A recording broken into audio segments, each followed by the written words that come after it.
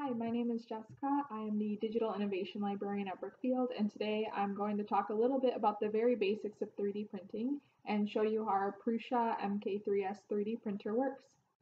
So now I'm going to explain how a 3D print is actually created. So I'm going to start up here with the filament. The filament is fed right into the top of the extruder. With the Prusa, we have an automatic filament loader, so all we need to do is place it into the top of the extruder and it will auto load for us. The extruder is where the filament is going to be heated up enough to actually create and build our 3D design. So for us using PLA, it's going to be around 200 to 215 degrees Celsius. So that's around 400 degrees Fahrenheit. So it's very, very hot. Um, the filament is going to move through the extruder down to the nozzle or what you could call the hot end. And the hot end is what's going to actually build the 3D design layer by layer. So the extruder is going to move around in the pattern of the design and build it up layer by layer. That's why 3D printing does take as long as it does. It takes multiple hours for even a smaller print um, because the 3D printer is moving so slowly to make sure that each layer is cooled before it adds on more. And that is the function of the cooling fan. So now I'm going to talk a little bit about filament. You heard me say PLA. That is the type of plastic that we use to print here at the library. Um, even though this PLA is really shiny and almost looks like real copper, it is all plastic. There is a type of PLA with a very high metal content, and this printer is capable of printing that type of filament if we were to put on a stronger nozzle. Right now our nozzle is brass, which is perfectly fine and plenty strong enough to print plastic. However, if we're looking at printing metal, we do need a stronger nozzle. So that is one possibility. There are definitely lots of other types of PLA as well. Um, this is actually glow-in-the-dark PLA, which prints exactly like regular PLA, but it does glow in the dark afterwards. Um, and then probably the most common that you'll see is this kind of matte finish PLA. Um, the plastic takes very well to color, so you can find just about any color with any finish that you'd like um, on Amazon or Hatchbox, which is the type of filament that we use. PLA is very easy to manipulate, so you can find all sorts of different colors and finishes as well. Another really common type of filament that might be used would be PETG. It's a little bit less porous than PLA. And another common one would be ABS. ABS does um, produce fumes when it gets heated up, so it requires ventilation. However, it's pretty popular because it reacts with acetone.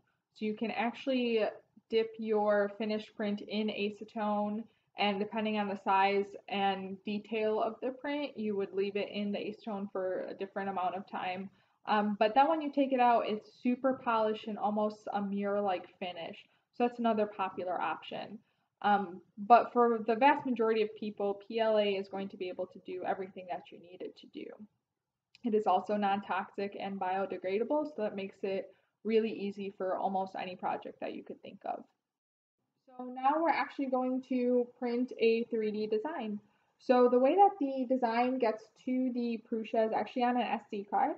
So what I've done is taken the design and put it into the Prusa Slicer software, which gets it prepared to be printed. And then I load that design onto an SD card, and the SD card gets placed right here in the side of the design. So I've already selected it. I had it preheated a little bit, but it just finished preheating now. Um, and what it's going to do is print a test line first here after calibration.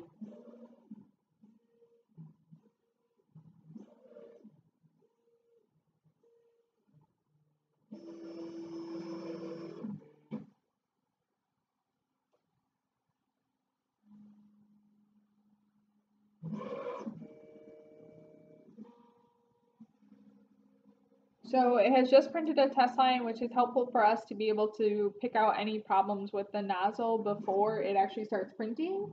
And what it's done now is drawn a parameter around where it will print the 3D print so we can see exactly what will happen. And I will show you guys a close-up.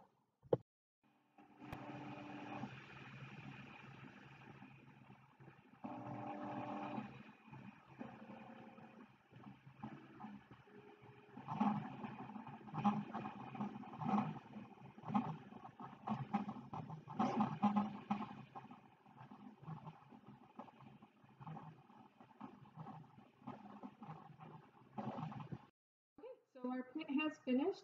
That particular print only takes about an hour. The Prusa is really nice because it actually has this flexible steel plate that you can just take right off the print bed and then it's actually flexible. So all I have to do is bend it a little bit and the print will come loose. Um, so it's really that easy with the Prusa and you can see how it finished. If I wanted to make it smoother, I could sand it down, but this looks perfectly good to me. So if you want to learn more about 3D printing, please feel free to visit our website. And we also recommend Tinkercad to get started with 3D design.